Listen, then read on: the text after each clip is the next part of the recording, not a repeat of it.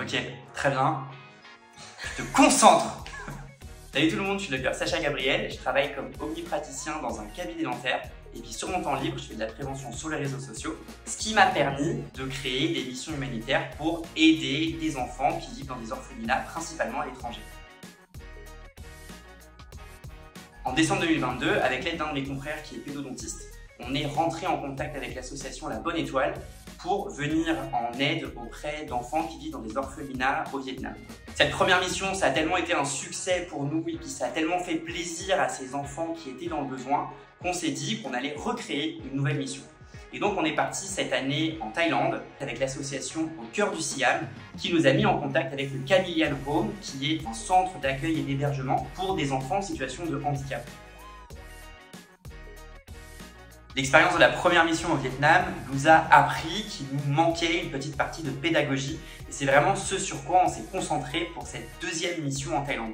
On a donc développé plein de supports pédagogiques qu'on a partagé avec les enfants en plus de tout l'aspect pratique et du brossage de dents. D'ailleurs, tous ces supports pédagogiques qu'on a pu avoir, ils nous ont été fournis par l'association Keep Smiling qui est une asso de prévention en France. Donc merci beaucoup à Keep Smiling. Pour l'occasion, on a créé des pochettes que vous pouvez voir ici, dans lesquelles il y avait des dentifrices, des brosses à dents, du bain de bouche, du fil dentaire et une petite fiche explicative sur comment bien se brosser les dents. Toutes ces pochettes, tout ce matériel, on l'a ramené à bout de bras dans nos valises jusqu'en Thaïlande, mais ça valait vraiment, vraiment la peine vu le sourire et l'accueil qu'on a reçu. On a rencontré des personnes formidables au sein du Camillian Home, des éducateurs et des éducatrices qui prennent vraiment soin de la santé de ces enfants qui sont pour la grande majorité handicapés. Ils nous ont expliqué qu'en plus de l'hygiène bucco-dentaire qui était prodiguée tous les jours dans le centre, il y avait une fois par mois un camion de dentistes qui passait et qui venait prodiguer les soins nécessaires à tous ces enfants pour leur assurer une hygiène bucco-dentaire au top.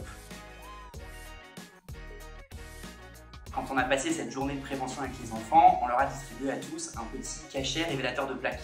Et puis on leur a dit qu'il fallait bien le mâcher. Et ils se sont trouvés au bout de 5 minutes, tous avec les dents toutes violettes, à faire des, des géants sourires avec des dents toutes violettes. Et c'était vraiment très drôle. Tout le monde était euh, mort de rire. Les accompagnantes étaient morts de rire. Le directeur du, du Home était, euh, était plié par terre. Et puis on leur a expliqué que ces dents violettes, c'était un mauvais signe et qu'il fallait du coup bien bien bien brosser les dents. On a passé un quart d'heure tous ensemble, chacun une brosse à dents dans la main, à se brosser les dents pour faire disparaître toutes ces taches violettes. Jamais 203, on est déjà en train de travailler sur la prochaine mission qui aura lieu d'ici quelques mois. Alors j'en profite pour faire un appel à toutes les marques de matériel bucco-dentaire et à toutes les personnes qui voudraient soutenir notre action.